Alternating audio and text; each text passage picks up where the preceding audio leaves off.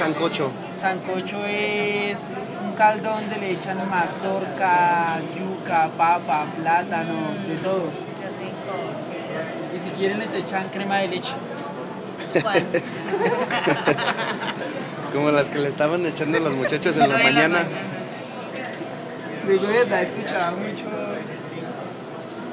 No, llevamos a otro hotel hoy. La cama es súper dura, ¿no? Nosotros lo hicimos, A mí me duele como... nosotros lo hicimos, ¿sabes por qué? Porque había, como porque el televisor era bueno, no pensaba que ustedes querían ver televisión o algo así.